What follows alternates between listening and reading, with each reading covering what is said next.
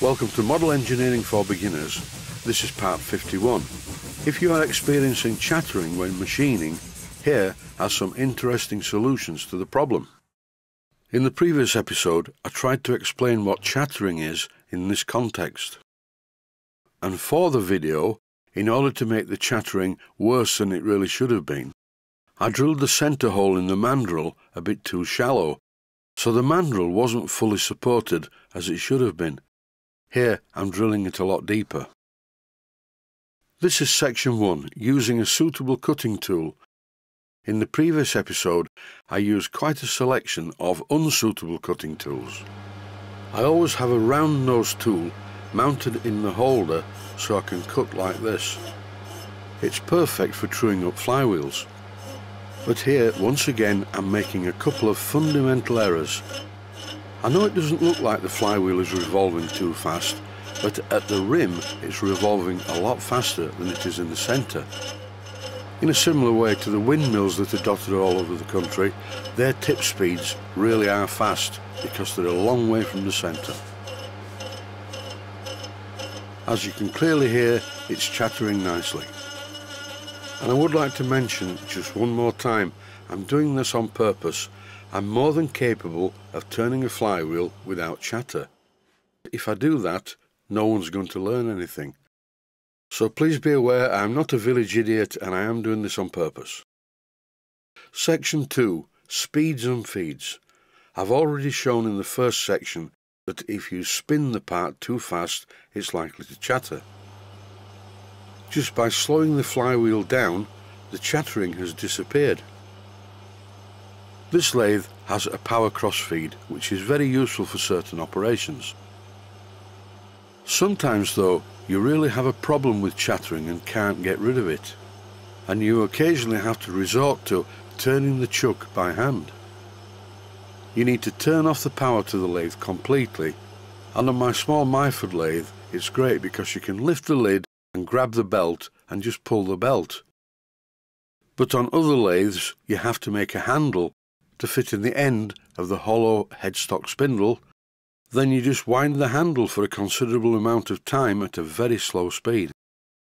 The speed of the power crossfeed is relative to the speed of the spindle. So as you slow down the lathe, this slows down. So I've changed the ratio on the gearbox. And as you can see in this clip, the power crossfeed handle is going considerably faster than it did. And now there is no sign of any chatter. There's a nice sound coming from the cutting tool and I'm getting a good finish. This round nose tool has a carbide tip, which is great for turning castings.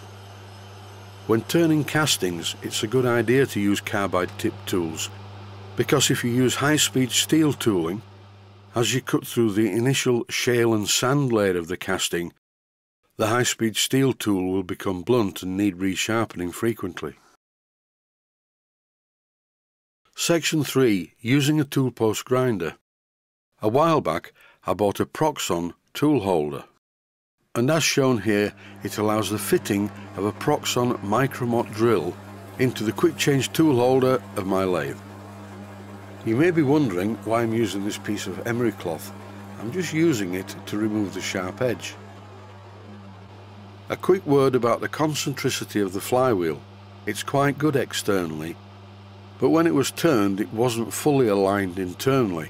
It's difficult with this type of flywheel because you cannot take a cut to true up the rim because the inner rim of the flywheel is not continuous.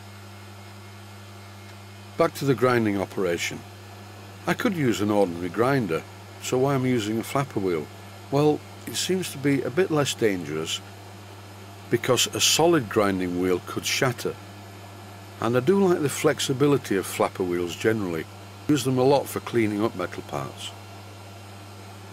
In fact, my Proxxon angle grinder is generally fitted with a flapper wheel and it's just perfect for cleaning up bits of metal. Please be aware I am not putting much pressure on the flywheel with the flapper wheel, and I suppose it would be a good idea to run the lathe in reverse. But the reversing switch on this particular lathe is currently faulty. I'll put that job on my list of things to do. you can hear the nice sound that's been made.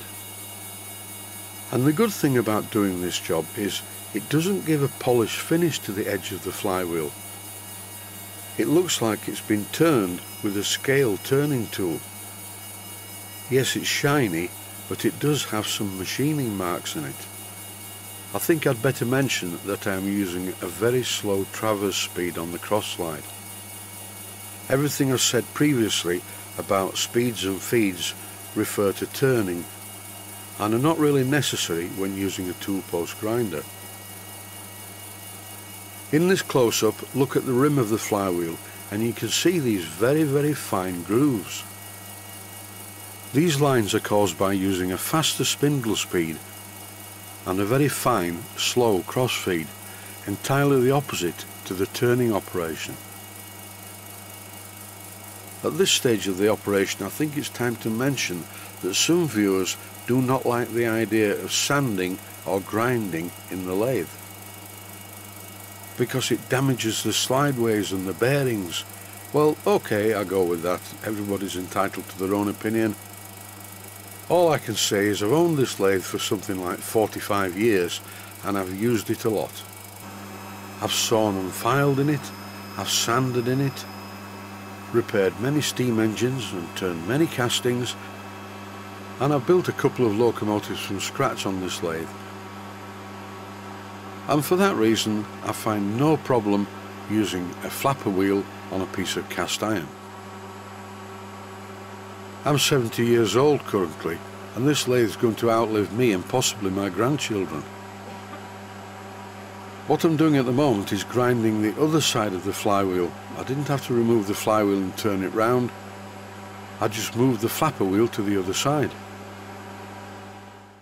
I thought it would be a good idea to remove all the cast iron dust from the paintwork before I removed the flywheel from the chuck. I'm very pleased with the way this has come out, particularly as I really abused it by trying to make it chatter for the video. This piece of silver steel is exactly 7 16ths of an inch, and once the grub screw marks it, it doesn't want to come out of the hole. I used a copper-faced hammer just to persuade it. And that's it, the flywheel is complete, and I think it looks okay. I am, of course, going through a red flywheel phase. With everything reassembled, it's time to give the engine a run, and it's at this point that I'm going to go and do something else and I'll leave the engine running to the end of the video. Stay safe, stay healthy, thanks for watching and I hope you found it useful.